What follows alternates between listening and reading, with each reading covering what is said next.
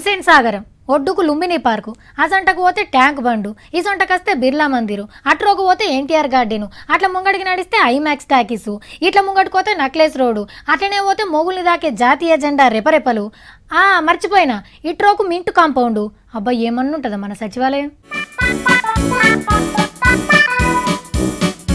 Right Naxal మంచిగా చూసిండ్రు కదా ఇలా ఏదో ఒకటి సెలెక్ట్ చేసి కొత్త సచివాలయం కట్టబోతున్నారు.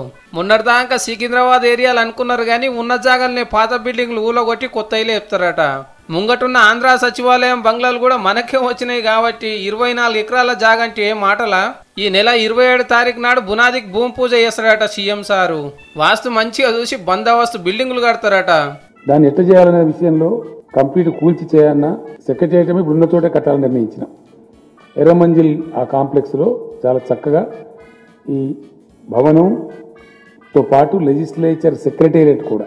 నాలుగు వందల కోట్లు కాదు ఇంకో నలభై కోట్లు ఎక్కువైనా మంచిదే. తెలంగాణ సచివాలయం అంటే ఏకదమ్ ఉండాలని ఆర్డర్ వేసిండట పెద్ద సారు. ఎక్కువ టైం పట్టదట. ఏడాది లోపట్నే ముఖ్యమంత్రి సారు కొత్త సచివాలయంలో అడుగుపెట్టే అంత రువ్వడిగా పనులు నడుస్తాయట. ఇప్పుడు ఖైరతాబాద్లో ఒకటి నాంపల్లిలో ఒకటి హ్యాబిట్స్లో ఒకటి పారేసినట్టున్న ఆఫీసులన్నీ కుప్పపోసినట్టు ఒకతాన్నే ఉంటాయి అన్నట్టు మంత్రుల ఆఫీస్ ఒక్కటే కాదు లో కొత్త అసెంబ్లీని కూడా చూడబోతున్నాము.